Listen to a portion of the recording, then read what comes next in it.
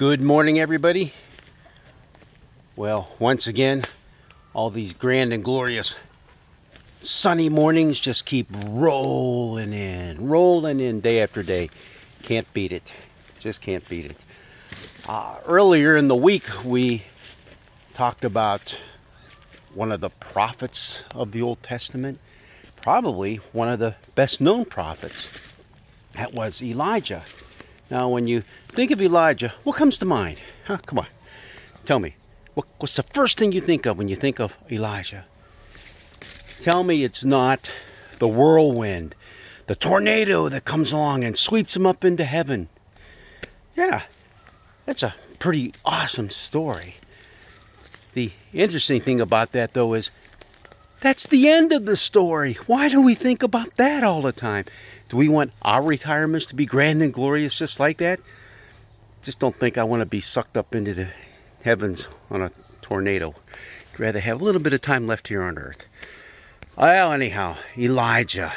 Yep, one of the more successful prophets, if you want to call it successful. He had a, a pretty tough life. Uh, when you're talking people running after you because they want to kill you just about all the time, yeah, that would be Elijah.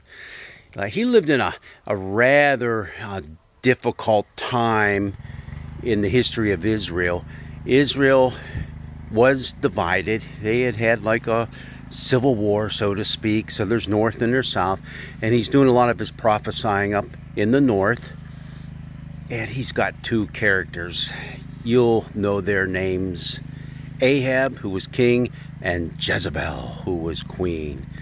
We always link that name Jezebel with an evil queen. And you know what? You're right. She was. She probably was responsible for more deaths during that time than the king was. She she didn't like somebody. She just did away with them. Well, to make a long, long story short, part of Elijah's very successful career was he would prophesy against Israel. Now, Israel's the northern part of this divided nation. He would prophesy against them. And one of the ways he did that was he said, Hey, God's going to withhold rain from the land, and everything's just going to dry up and die away. Well, Jezebel wasn't going to hear anything about that because, see, Jezebel didn't believe in God, didn't believe in Yahweh. Jezebel she was a Baal person. She had brought all those household gods along with her, but Baal was the one. Oh, yeah. And try as they might, the prophets of Baal couldn't do a thing. And pretty soon, eh, the king and queen are basically begging for mercy. And Elijah allows the rains to come again by talking to God. Hey, there you go. Very successful. But he also did some other things too.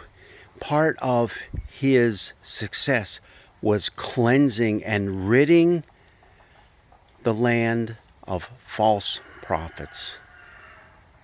Come on, you know what I'm talking about. They died by the sword. Our lesson that we have coming up on Sunday is right after one of those incidents probably the more, most famous one, where on Car Mount Carmel, uh, he tells the prophets of Baal, "Go ahead, you bring fire down upon this this sacrifice we have on the altar, and see if it's consumed." And they danced and they twirled and they did everything, gave every chant in the world. Nothing. Along comes Elijah, dump all this water on there. Just keep dumping. They poured water, and the prophets of Baal are probably laughing at them and calls down, and there's a fire that consumes them, consumes the the um, sacrifice, and all those prophets died by the sword. It's kind of a gruesome story, but because of that, what happens next? Word gets back to Ahab and Jezebel, but what happened? Jezebel says, He's a dead man. So off he goes. And what we see is, in the midst of time and time again, Elijah coming out on top, he doesn't quite get the oomph that he needs for his life. He sinks into, in our lesson for today, a very deep depression. He's done everything that God has asked of him, and it seems like it's going nowhere.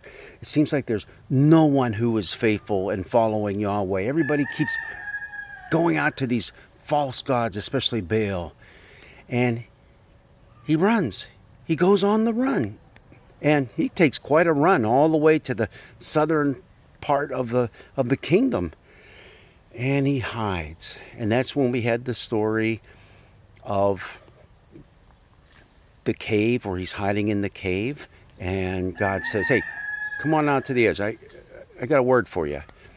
And that's where the the rainstorm, a big thunderstorm comes through, and there's an earthquake, and then there's a fire. And in none of those things is God found. Not until you get to that quiet whisper. But you see what's happening. There were times in Elijah's life where he felt like he was abandoned, abandoned by everybody and abandoned by God. And yet, at the end of that story, God tells Elijah, there are 7,000 faithful people right in your midst. Open your eyes. They're right there. You are not alone. And that, I think, is the essence of the story. None of us are alone. You might feel that way, excuse me, and that's a, a valid feeling, but we are not left alone. We have brothers and sisters in Christ all around us, surrounding us, to be here with us, to help us through our difficult moments. Oh, Elijah, that was pretty much the end of his career, and he passed it on. He passed on his mantle to Elisha. Oh, you know that story, right? Yeah. Elijah's walking into the dressing room, and Elisha comes up and says, Hey, can I have your autograph? Sure. He gives it to him, and Elisha says, Thanks. And starts walking off, and Elijah goes, Hey, kid. Whips off his towel and throws it to him. Yeah. Oh no, that, that was Mean Joe Greene. I'm sorry, in the Coke commercial. I get them mixed up all the time. But you get the point. From that point on, it was Elisha who took over those prophetic duties. But don't be like Elijah, who thought he was the only one and everybody was out to get him and woe is me and I want to die. No, we might have those times we feel like that, but remember, you and I we are surrounded by brothers and sisters who love us, care for us, and will help us get through anything we face in life. Time to get busy. It's a beautiful day. God's blessings be with you. Jesus loves you, and so do I.